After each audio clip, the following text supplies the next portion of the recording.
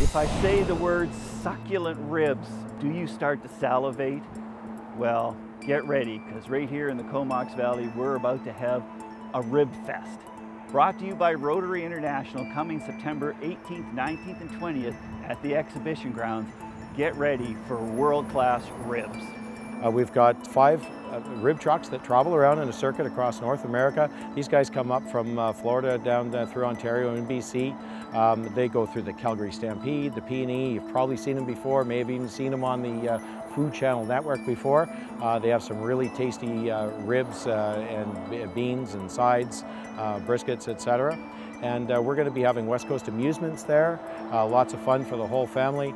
We've got uh, a car show on the Sunday from 10 till 3 and musical entertainment all day long. Lots of place to sit and beer garden, lots of place to have refreshments. There'll be many other vendors that we have there on site on the same day. Ribfest isn't just about ribs though. It's actually also about entertainment, valley entertainment, talent here in the valley, and lots of it. Well, I think it's an opportunity uh, for the valley to see the local talent that's in the valley. We have incredible musicians and entertainers, all living locally, international entertainers, nationally known, recording stars.